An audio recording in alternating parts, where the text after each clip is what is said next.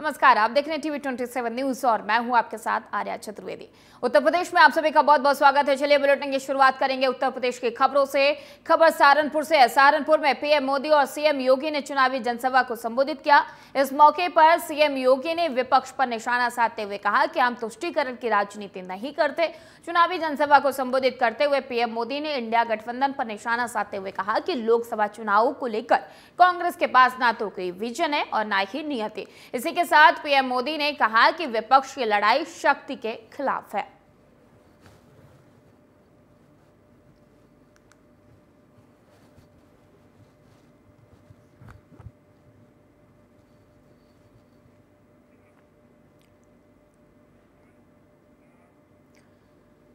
और उत्तर प्रदेश के लखनऊ में प्रमुख नेताओं के बीजेपी में शामिल होने पर यूपी के डिप्टी सीएम ब्रजेश पाठक ने कहा कि हम सभी पार्टी को मज़बूत करेंगे और आप सभी पीएम नरेंद्र मोदी के विकसित भारत के दृष्टिकरण के आगे बढ़ाने के लिए बीजेपी में शामिल हुए हैं। चुनाव हो रहे हैं और आप सभी अपने क्षेत्र में पार्टी को मज़बूत करने में योगदान देंगे। पार्टी हमेशा आपको अपना परिवार का सदस्य मानकर काम करेगी। तो आपको बता दें कि प्रमुख नेताओं ने बीजेपी का दामन थामा है, जिसको लेकर डिप्टी सीएम ब्रजेश पाठक ने कहा है कि सभी लोग बीजेपी को मज़बूत करने की कोशिश कर रहे हैं और यही वजह है कि जो सदस्य, जो भी नेता पार्टी में शामिल हो रहा है, पार्टी उसे अपने परिवार के सदस्य ही रखेंगे और चुनाव को लेकर लगातार तमाम कद्दावर नेता अलग अलग पार्टी के नेता बीजेपी का दामन थामते हुए नज़र आ रहे हैं और इसी को लेकर उत्तर प्रदेश के डिप्टी सीएम ब्रजेश पाठक ने कहा है कि जो भी नेता, जो भी कार्यकर्ता अदर पार्टी से बीजेपी में शामिल हो रहा है, पार्टी भी, बीजेपी भी उसे अपना परिवार का सदस्य मान रही है और सभी लोग बीजेपी को मज़बूत करने की कोशिश कर रहे हैं। चुनाव को लेकर तैयारियाँ भी जारी हैं। लगातार तमाम नेताओं का बीजेपी में शामिल होने का सिलसिला जारी है। और इसी कड़ी में तमाम नेताओं ने आज बीजेपी में शामिल हुए हैं। उनका बीजेपी का दामन थामा है, जिसको लेकर डिप्टी सीएम ब्रजेश पाठक ने कहा है कि सभी लोग बीजेपी को मज़बूत करने की कोशिश कर रहे हैं और बीजेपी भी सभी सदस्यों को अपना पारिवारिक, यानी कि परिवार का सदस्य मानकर चलती है। चुनाव की लेकर तैयारियाँ जोरों शोरों पर हैं। तमाम पार्टी के नेता, तमाम दल के नेता बीजेपी में लगातार शामिल हो रहे हैं। ये सिलसिला लगातार जारी है और आज इसी कड़ी में तमाम कद्दावर नेताओं ने बीजेपी का दामन थामा है और जिसको लेकर ब्रजेश पाठक की तरफ़ से कहा गया है कि पार्टी को मज़बूत करें और प्रमुख नेताओं ने बीजेपी का दामन थामा। उन्होंने कहा कि बीजेपी सभी को अपना परिवार का सदस्य मानकर चल रही है। और यही वजह है कि लगातार बीजेपी पार्टी मज़बूत होती जा रही है। ये बातें ब्रजेश पाठक, यानी कि उत्तर प्रदेश के डिप्टी सीएम, उनके तरफ़ से कही गई हैं। तो आपको बता दें कि एक तरफ़ चुनावों की तैयारियाँ है, जोरों शोरों से की जा रही हैं, और तो वहीं दूसरी तरफ़ तमाम नेता लगातार दल बदल कर रहे हैं, और ये दल बदल का सिलसिला लगातार जारी है। इसी कड़ी में तमाम नेताओं ने जो अलग अलग पार्टी से आए हैं, उन्होंने बीजेपी का दामन थामा है और इसको लेकर डिप्टी सीएम ब्रजेश पाठक ने बयान भी दिया है। उनके तरफ़ से कहा गया है कि लगातार बीजेपी को मज़बूत करने की कोशिश की जा रही है और जो भी नेता बीजेपी में आ रहा है, उसका स्वागत है, उसको परिवार के सदस्य की तरह रखा जाएगा।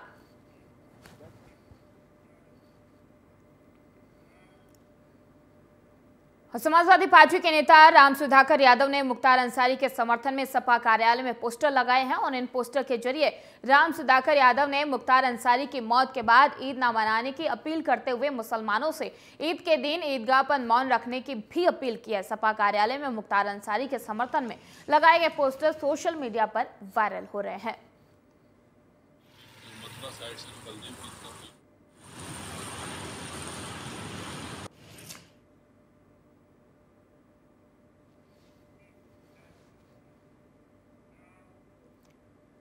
और केंद्रीय मंत्री डॉक्टर महेंद्र पांडे ने कांग्रेस के घोषणा पत्र पर बयान जारी करते हुए कहा कि आज मोती युग में सारे गरीबों को उनका हक मिल रहा है। देश के नौजवानों को सभी बड़े बुज़ुर्गों का उनका हक मिल रहा है। कांग्रेस, जिसने भी देश के, देश में आपातकाल लगाने के लिए, आज तक आपातकाल के लिए कभी खेद नहीं व्यक्त किया, क्षमा नहीं मांगी। उन्होंने कहा कि कांग्रेस का घोषणा पत्र कोरी बकवास है और वहीं उन्होंने राहुल गांधी के बयान की इंडिया गठबंधन संविधान बचाने की लड़ाई लड़ रहा है और पर तंज कसते हुए कहा कि पीएम नरेंद्र मोदी संविधान के अनुसार ही चुनी हुई सरकार के अगुआ है और संविधान के मर्यादाओं के ही दायरे में आज नरेंद्र मोदी काम कर रहे हैं।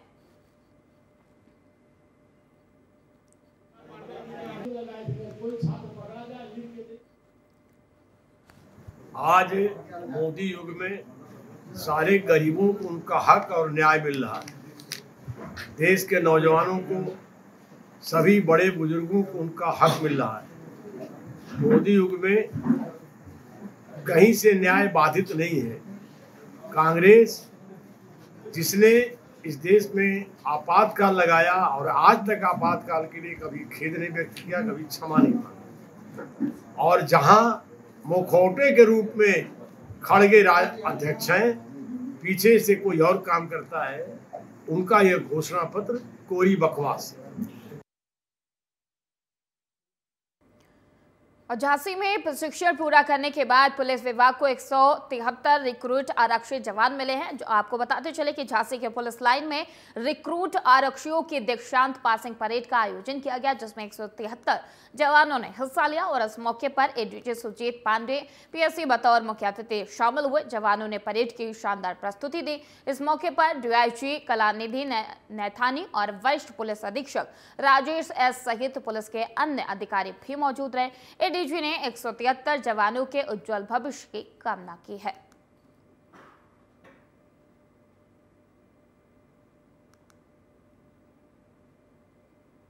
एक कैडेट्स ने आज यहाँ से पास आउट किया है और ये छह महीने की रिगरस ट्रेनिंग जो हमारी होती है, पर आप देख रहे थे बहुत ही खूबसूरत परेड थी और यह दर्शाता है कि ये आने वाले समय के लिए बहुत तैयार होकर यहाँ से जा रहे हैं।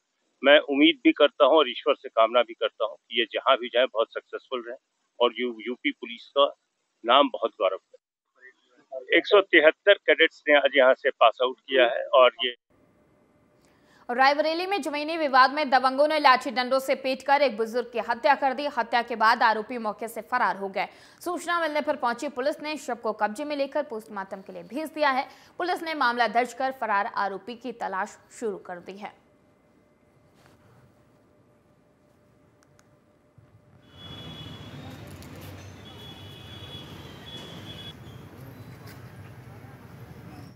एक सौ आठ एंबुलेंस के द्वारा श्याम विकास नाम का व्यक्ति जिसकी उम्र करीब अड़तालीस साल है, जो कि एक सौ आठ एंबुलेंस द्वारा लाया गया था, रात को एडमिट किया गया। उसको एडमिट करने पर उसके दोनों पैरों में चोटें थी, दोनों हाथों में चोटें थी, सर में चोटें थी। बाकी उसको एग्जामिन कर करके फ़र्स्ट एड किया गया फ़र्स्ट एड करने पर ट्रीटमेंट करके एडमिट कर दिया गया। अटेंडेंट द्वारा ये पता चलता है कि कुछ लोगों में मारपीट हुआ था, जिसके कारण उसको चोटें आई थी। ये तो जाँच का विषय है, मारपीट हुआ है कैसे चोटें आई। बाकी उसको एडमिट कर दिया ट्रीटमेंट चल रहा था। ड्यूरिंग ट्रीटमेंट वो एक्सपायर हो गया, जिसकी बॉडी को रखवा दिया गया पोस्टमार्टम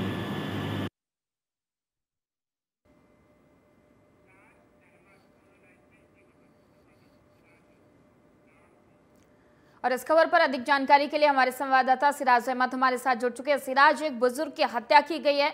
आरोपियों तक अभी तक पुलिस पहुँच पाई है या नहीं? और क्या उपाय पुलिस की तरफ़ से किए जा रहे किस आधार पर आरोपियों की तलाश की जा रही है? सिराज।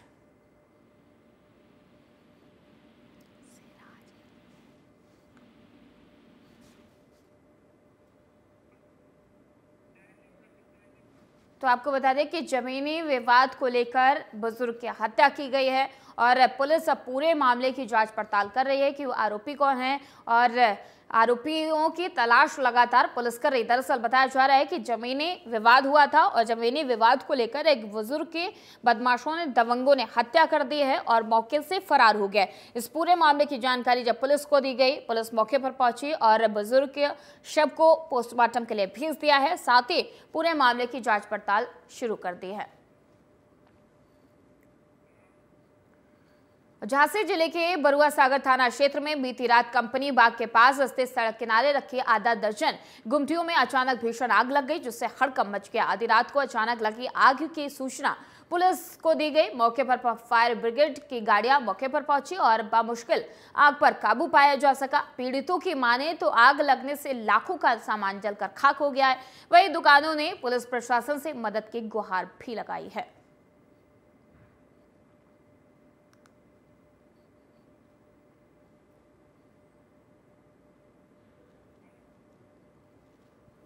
रिंकू विश्वकर्मा क्या हुआ यहाँ पे? यहाँ पे रात के 11 बजे तक तो हमने किया काम। ठीक है क्या काम करते थे? लकड़ी का। तो शादी के सोफे देने थे हमें। हम्म, तो सोफा की बैकें वगैरह की कटिंग करी। हम्म, फिर हम सो गए। एक घंटे बाद कोई ने बिल्कुल जी हमें सारे दरवाजे वरवाजे तार से बाँध के पेट्रोल डाल के आग लगा दी। पता है किसने लगाई कुछ? अब देखो कल तो हमारा झगड़ा गोविंद सिंह बाबा जी से हुआ। अच्छा। अब लेकिन ये बता नहीं सकते कि कैसे हुई। ठीक। पुलिस को सूचना दी? पुलिस आ गई थी, दमकल कर्मी आए, चार गाड़ियाँ आई, बुझा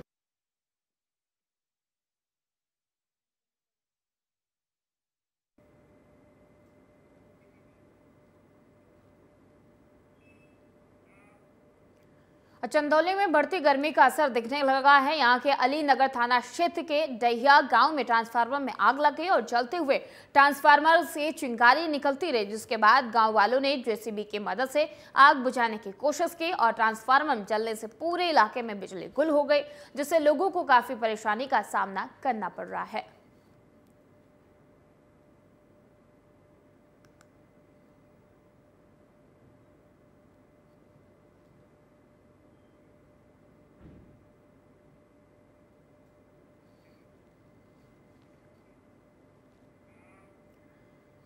और मैनपुरी में टीवी 27 न्यूज़ पर चली खबर का असर देखने को मिला है। कुरावली इंस्पेक्टर मोहर सिंह को निलंबित कर दिया गया है। बता दें कि होली के दिन इंस्पेक्टर का एक ऑडियो वायरल हुआ था, जिसमें वो ग्राम प्रधान से 12 बोतल शराब मांग रहे थे और इसके बाद एसपी विनोद कुमार ने एसपी दखात को इसकी जानकारी सौंपी थी और जाँच के बाद एसपी ने ये कार्रवाई की है और इंस्पेक्टर मोहर सिंह को सस्पेंड कर दिया गया है।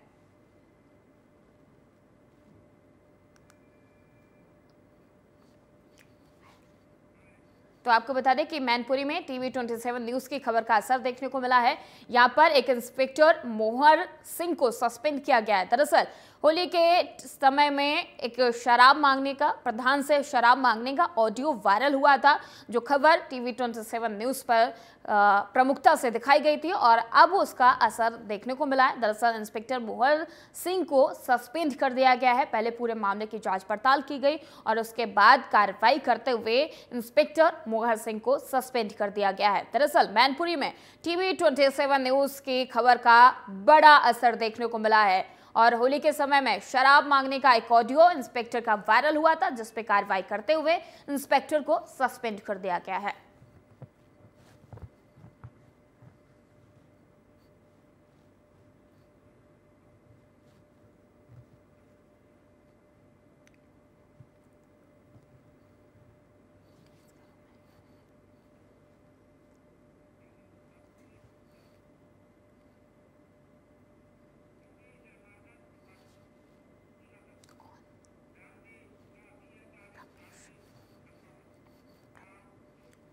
और इस खबर पर अधिक जानकारी के लिए हमारे संवाददाता ब्रह्मेश हमारे साथ जुड़ चुके हैं। ब्रह्मेश क्या पूरा मामला था और इंस्पेक्टर को सस्पेंड किया गया? टीवी 27 न्यूज़ की खबर का बड़ा असर देखने को मिला। मामला पूरा क्या था?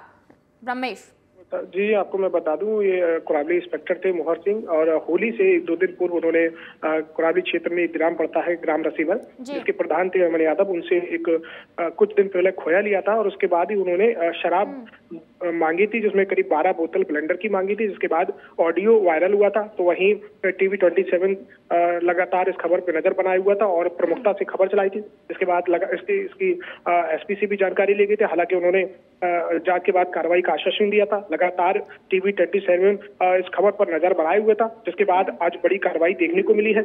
वहीं एसपी ने चुनाव आयोग को इसकी रिपोर्ट भेजी थी, जिसके बाद आज कार्रवाई करते हुए जो कुरावली इंस्पेक्टर है मोहर सिंह, उनको सस्पेंड कर दिया गया है और Kurawali TV twenty four TV twenty four का खबर देखने को असर भी मिला है। हम्म, बिल्कुल ब्रह्मेश लेकिन जो ऑडियो वायरल हुआ था उसकी प्रमुखता से जाँच की गई उसमें क्या कुछ खुलासा हुआ कि वो इंस्पेक्टर का ही ऑडियो था उसके बाद ये कार्रवाई की गई। ब्रह्मेश। जी जी जी जी बिल्कुल बिल्कुल जो ऑडियो था इंस्पेक्टर का ही निकला उसके बाद ऑडियो की पुष्टि होने के बाद ये कार्रवाई की गई है। बिल्कुल, ब्रह्मेश, लेकिन अब आगे क्या सस्पेंड कर दिया गया है? उसके बाद पुलिस प्रशासन की तरफ़ से आगे क्या कुछ कार्रवाई की जाएगी? ग्राम प्रधान से जो शराब मांगी गई थी, क्या ग्राम प्रधान से भी पूछताछ की गई है? उनके खिलाफ कोई कार्रवाई, कुछ ऐसा कुछ जानकारी? ब्रह्मेश। जी जी जी मेरी बात हुई थी ग्राम प्रधान से उन्होंने बताया था कि उनको लगातार डर सता रहा था कि कहीं पुलिस उनके खिलाफ झूठा मुकदमा न लिख दे। आज भी वे डरे हुए हैं। उनको ये लगता है कि जिस तरीके से ये ऑडियो वायरल हुआ है तो कहीं ना कहीं उनका हाथ है। ऐसा लग रहा है उनको कि कहीं ना कहीं पुलिस किसी झूठे मामले में उनके खिलाफ मुकदमा दर्ज न कर दे। हालाँकि इस मामले में एसपी से बात हुई है तो उन्होंने कहा है कि ऐसी कोई बात नहीं है।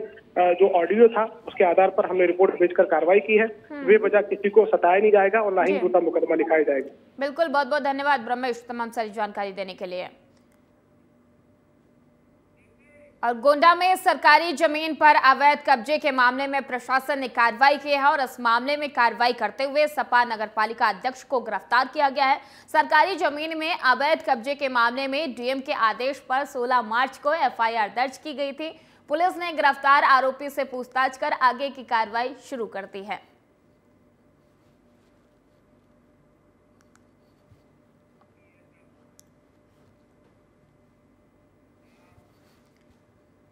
और एटा में संदिग्ध परिस्थितियों में युवती गोली लगने से घायल हो गई। घायल अवस्था में युवती को परिजनों ने गंभीर हालत में अस्पताल में भर्ती करवाया। फ़िलहाल युवती के गोली लगने की वजह पता नहीं चल सकी है। घटना की सूचना पाकर पहुँची पुलिस, जाँच पड़ताल कर रही है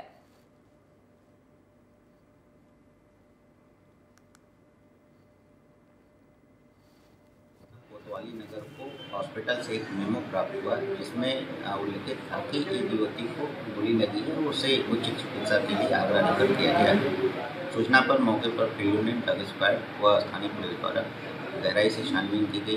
घटना के कारणों की गहनता से छानबीन की जा रही है। अभी तक परिजनों द्वारा इस संबंध में कोई लिखित तहरीर नहीं दी है, जैसी तहरीर प्राप्त हुई वैधानिक कार्रवाई सूचित और इस खबर पर अधिक जानकारी के लिए हमारे संवाददाता सोनू यादव हमारे साथ जुड़ चुके हैं। सोनू क्या कुछ मामला है? युवती को संदिग्ध परिस्थितियों में गोली लगी। क्या अभी तक ये क्लियर हो पाया है साफ़ हो, पाया कि ये गोली युवती को कैसे लगी? क्या खुद मारी है या किसी और ने मारी है? कुछ खुलासा हो पाया अभी तक? सोनू। जी आ रहा है मैं आपको बता दूँ ये कोतवाली नगर क्षेत्र के जाटापुरा का पूरा मामला है। मामला दरअसल ये था सुबह साढ़े छह बजे करीब जानकारी मिलती है कि युवती ऊपर टूथपेस्ट कर रही थी दंत कर दंत भंजन कर रही थी तो अचानक कहीं से गोली लगने की सूचना प्राप्त हुई। आनंद फानंद में पुलिस कोतवाली नगर पुलिस मौके पर पहुँची जहाँ जानकारी के हिसाब से अभी तक जो बात की जाए तो अभी तक इस बात की पुष्टि नहीं हो पाई है कि गोली आखिर युवती को कैसे लगी है। इस पर जिला अस्पताल भेजा गया वहाँ से हायर सेंटर आगरा के लिए रेफर कर दिया गया। लेकिन कोतवाली नगर पुलिस की बात की जाए तो कोतवाली नगर पुलिस के तो दिन पहले से ही खराब चल रहे हैं। करीब करीब पिछले सात आठ दिन से लगातार ये आठवीं घटना है जिसके साथ लगातार ऐसा हो रहा है। टप्पेबाजी हो रही है छिनैती हो रही है उसके बावजूद कोतवाली नगर पुलिस सक्रियता कर रही है लेकिन इसमें बिल्कुल विफल साबित हो रही है। जी। जी, बिल्कुल सुनो, लेकिन युवती की अभी हालत क्या है? क्या हालत अस्थिर है या गंभीर है? कोई ऐसी जानकारी मिल पा रही है अभी तक? सोनू। जी अरे मैं आपको बता दूँ युवती की हालत अभी तक स्थिर बताई जा रही है। युवती ज़्यादा उसकी सीरियस कंडीशन नहीं है युवती बात कर पा रही है युवती के दाएँ शोल्डर में गोली लगी थी लेकिन अभी इस चीज़ की पुष्टि नहीं हो पा रही कि आखिर गोली कहाँ से चली थी कैसे लगी क्या कारण रहा अभी तक अज्ञात माना जा रहा है। पुलिस ने प्रथम दृष्टिया जाँच में स्पष्ट बताया है कि जो तहरीर दी गई है उस आधार से मुकदमा पंजीकृत किया जा रहा है। जी। लेकिन सोनू अगर पुलिस प्रशासन की बात की जाए तो किन किन आधारों पर किन किन आधारों पर पुलिस जाँच कर रही है? कैसे पता लगाया जा सकेगा कि कैसे युवती की गोली लगी? कोई सीसीटीवी फुटेज कोई तस्वीरें क्या सामने आई हैं या नहीं? और किन आधारों पर पुलिस जाँच कर पाएगी? खुलासा कैसे हो पाएगा? ये बड़ा सवाल है। सोनू। जी जी आ, जी आ रहा बता दो। यही यही पुलिस के लिए एक पेचीदा सवाल है क्योंकि जो लड़की के परिजनों ने युवती के परिजनों ने जो प्रार्थना पत्र पुलिस को दिया है उन्होंने किसी का उसमें नाम नहीं लिखा है। उन्होंने अज्ञात बताया है सीसीटीवी फुटेज भी गलियों में पुलिस तलाश रही है लेकिन अभी तक पुलिस के हाथ खाली है। जो प्रार्थना पत्र पुलिस को दिया गया है उसी आधार पर पुलिस मामला दर्ज करने की बात कहकर अपना पल्ला झाड़ने का प्रयास कर रही है। जी। जी बिल्कुल। बहुत बहुत धन्यवाद सोनू तमाम सारी जानकारी देने के लिए। और खबर लखीमपुर खीरी से है, जहाँ पर एक दलित महिला ने तांत्रिक मुन्ना मौलवी पर आरोप लगाया कि तांत्रिक ने उसकी माँ के इलाज के बहाने से जंगल में ले जाकर उसके साथ दुष्कर्म किया है और उसके बाद घर में मौजूद नब्बे हज़ार रुपए और जेवर चोरी करके फरार हो गया। इस बात की शिकायत महिला ने पुलिस अधीक्षक के कार्यालय में जाकर लिखित में शिकायत दी और आरोपी के खिलाफ कड़ी कार्रवाई करने की मांग की है।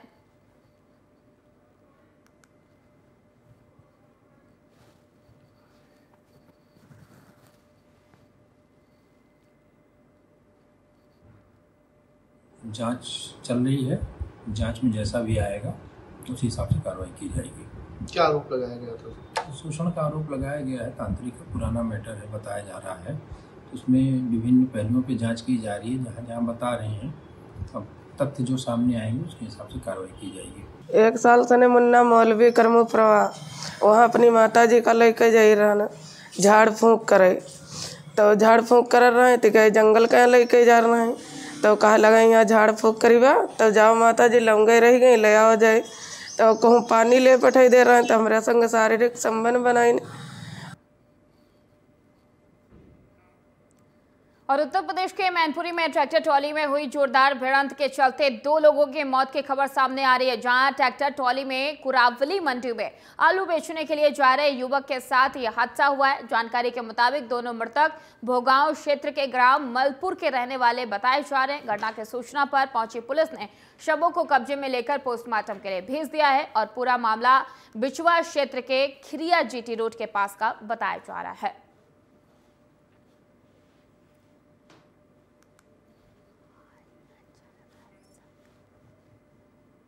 ये हमारे गाँव से आलू का ट्रैक्टर लेके जा रहे थे और वो जीटी रोड पे पीछे से ट्रक ने टक्कर मार दी है। कौन से गाँव से आलू लेके जा रहे थे? ग्राम मलपुर से जा रहे थे ये कुरावली मंडी के लिए। जा। हाँ। कहाँ पर एक्सीडेंट हुआ है? ये हुआ है खिरिया के पास में हुआ है कुरावली मंडी से थोड़ा पहले हुआ है। जीटी रोड पे रोड पे। ये ट्रक से एक्सीडेंट हुआ पीछे से ट्रक वाले ने ज़बरदस्ती टक्कर मार दी। तो कौन कौन लोग थे? इसमें क्या नाम? गुल्ली मुकेश नाम है जैसे गुल्ली मुकेश उर्फ़ गुल्ली। Son of Shivpal Singh. और एक लड़के का नाम राजीव सन ऑफ़ राम प्रकाश।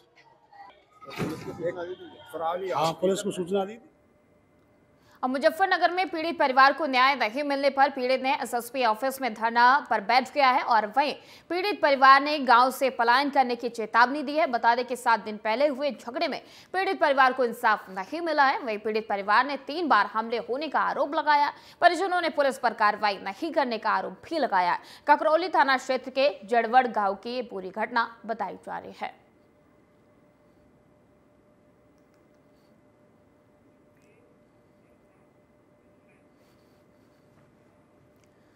और इस खबर पर अधिक जानकारी के लिए हमारे संवाददाता कुलदीप वर्मा हमारे साथ जुड़ चुके हैं। कुलदीप, क्या मामला है? एक पीड़ित परिवार धरने पर भी बैठा है और पलायन करने की भी बात कही जा रही है। पूरा मामला क्या कुछ है? कुलदीप।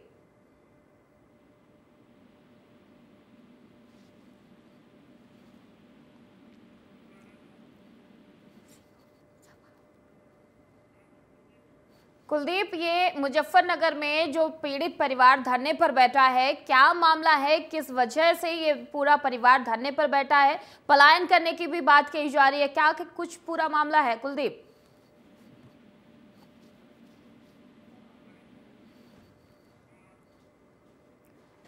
और फ़िलहाल बुलेटिन में इतना ही। खबरों का सिलसिला आगे भी जारी रहेगा। देखते रहिए टीवी ट्वेंटी न्यूज़।